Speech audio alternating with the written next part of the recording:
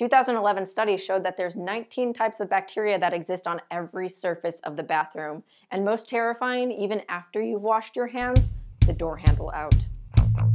Hey guys, I'm V-Lobs, and this is the Technophiles newscast. If you all have fears of touching gross bathroom door handles, I have some good news for you. At the Intel International Science and Engineering Fair last May, two students presented a door handle that cleans itself. The two students, Sum Ming Wong and Kin Pong Li from Hong Kong, have created a glowing bathroom door handle that eliminates all bacteria that comes into contact with it. The way this works is that the glass cylinder of the handle is coated in a bacteria-killing mineral called titanium dioxide. It's known as a photocatalyst, so when it's exposed to light, it can interact with either water or oxygen to create hydroxyl radicals, which are known as the detergent of the chemical world. And that is how this project works. The students put an an LED light in the handle, so the chemical is activated, and now it serves both a hygienic purpose and an aesthetic purpose. Yay! But even cooler is that the LED is powered by the movement of the door. There's a gearbox attached to it, so the movement of the door charges up the LED so it can self-sustain. Hydroxyl radical!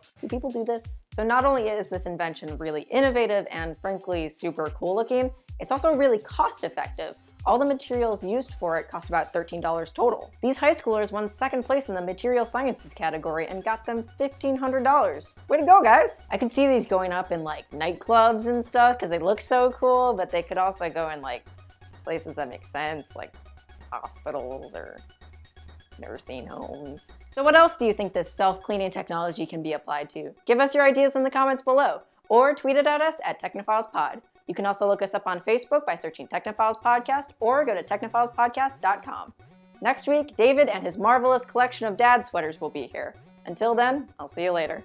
So I only really participated in one science fair in like sixth grade. Everybody else had really cool like mail delivery chutes or bazookas or something or some sort of rotating fork for your magic spaghetti. I had a bed that made itself using a series of pulleys um, and while it looked cool on a doll bed, if you did this in real life, you would probably strangle yourself on the corners of the sheets where you attach the rope while you're sleeping.